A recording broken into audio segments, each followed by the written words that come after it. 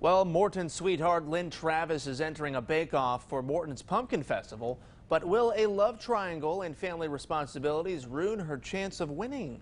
Matt is talking about the plot of Baking Up Love, filmed and set in Morton. And WMBD's Annie Kate joins us live now in the studio to tell us all about it. Good morning. Matt, carry on. Good morning. Now, I spoke with some community members in Morton to see how the film helps the community.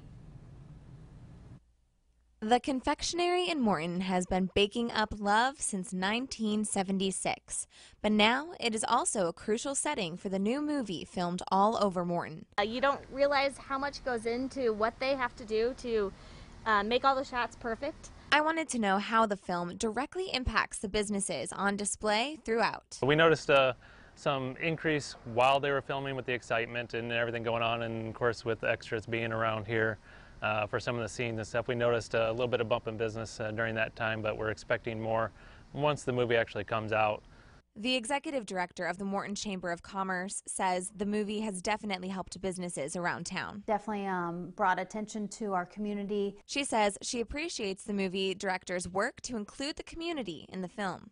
You know, Candace Kane talks about that of uh, really having that local focus and uh, TV tourism. The movie premieres on Saturday exclusively at the Morton Cinema. There's a few Easter eggs in the movie, so look for those.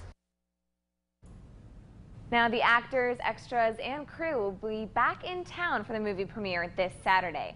Baking Up Love will then be released to the public on September 1st to stream on PureFlix. Kyrion?